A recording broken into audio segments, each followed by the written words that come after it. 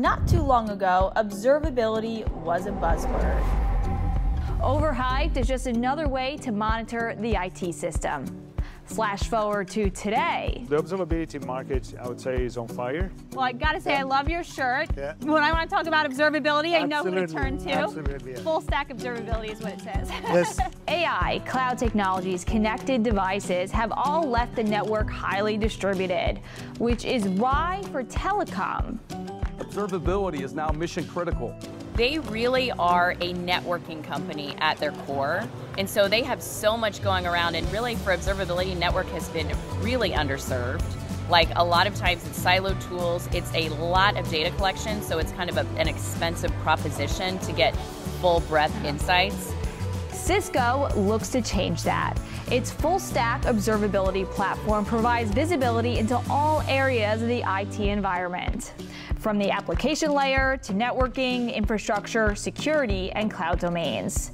The platform is collecting data at all of those layers, even third party applications, to better detect anomalies, performance issues, and threats. Cisco formally unveiled the platform in June it has since expanded the platform with its partners who have developed new modules to better address their customer needs. We had a chance to learn more at Cisco Partner Summit. Well, you are one of the partners to really bring the full stack observability platform to life here for Cisco. Tell us about what you've done so far.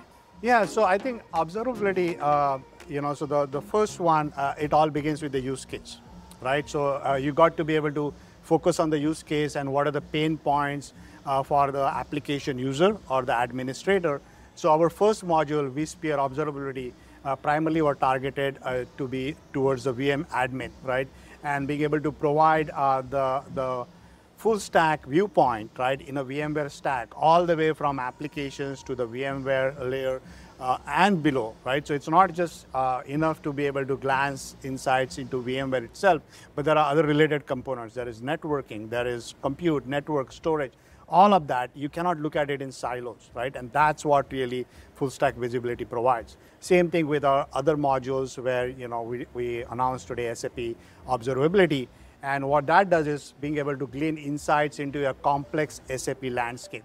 The deep visibility stems from the platform's vendor agnostic approach. It does that through an open telemetry framework. So the observability platform is predicated on ingestion of telemetry. And there are basically three types of telemetry.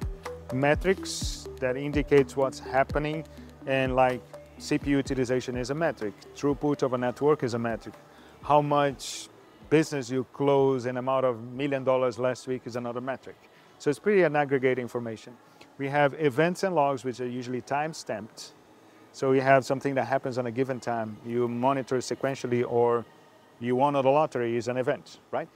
Or the last one is tracing when you map the experience of how many times someone click on the screen, if you put on the card and you browse around. So when you bring all those signals together, we built the Cisco platform on an open fashion.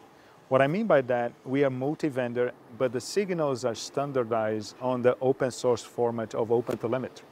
So I can have a metric being ingested for an AWS or for the Cisco product or for a hardware from another vendor or even a business process that runs on a code that someone wrote that's not even me.